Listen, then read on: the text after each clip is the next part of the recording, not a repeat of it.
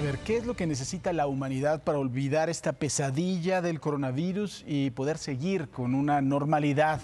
una nueva normalidad o una nueva realidad, como con otras enfermedades que en algún momento asolaron a la historia, asolaron el mundo, pues que finalmente, después de que se descubre una vacuna, son nada más un mal recuerdo.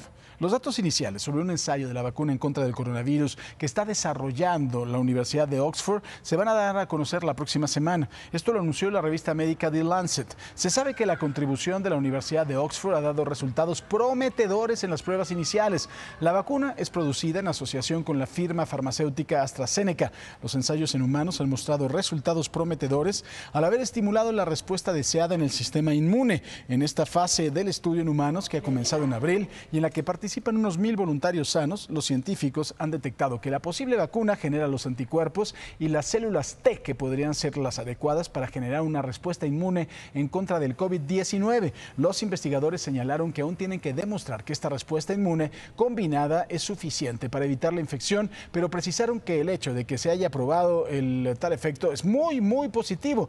Esperan contar con más de 2 mil millones de dosis en todo el mundo por medio de laboratorios asociados. En tanto que Estados Unidos será la prioridad en la distribución de la vacuna producida por la farmacéutica Moderna. La compañía espera producir entre 500 y 1000 millones de dosis. El proyecto está por entrar en la fase final de los ensayos. Esto es verdaderamente, pues bueno, una luz al final del túnel para olvidarnos de esta pesadilla, de la nueva normalidad, la nueva realidad, los cubrebocas y todo lo asociado a la misma.